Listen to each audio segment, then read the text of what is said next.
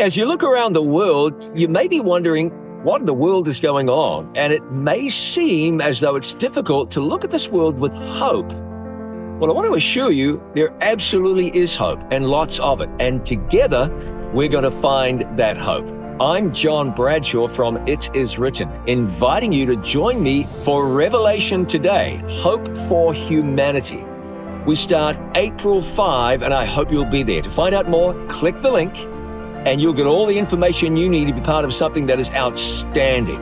We'll open up the Bible, we'll search the prophecies of the Bible, and we'll find out there's hope and lots of hope for you.